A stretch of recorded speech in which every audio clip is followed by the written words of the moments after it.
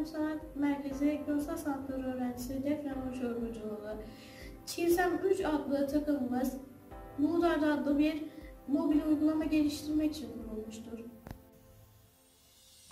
Uygulamamız realizm, pop art, kübizm, sürrealizm gibi modern sanat takımlarının bulunduğu bölümlerden oluşmaktadır.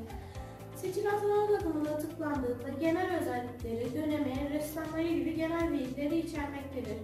Tanımak istediğimiz ressama tıklandığında ressamın yaşadığı dönem, üslubu, kısa bir biyografi, eserleri ve ile ilgili bilgilerle karşılaşıyorsunuz.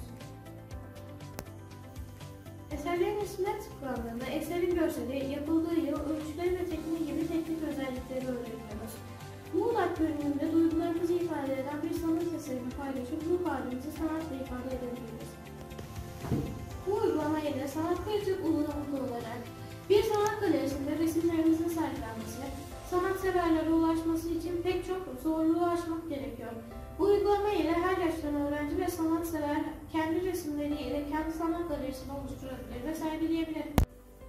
Bu tür uygulamalar yurt dışında olmasına rağmen Türkçe dil seçeneği ne yazık ki mevcut değildir. Sanatsal bilgilere ulaşabileceğiniz bloglar, makaleler, kitaplar mevcut ama uzun ve küçük yaştaki bireylerin dikkatini uzun süre çekemiyor.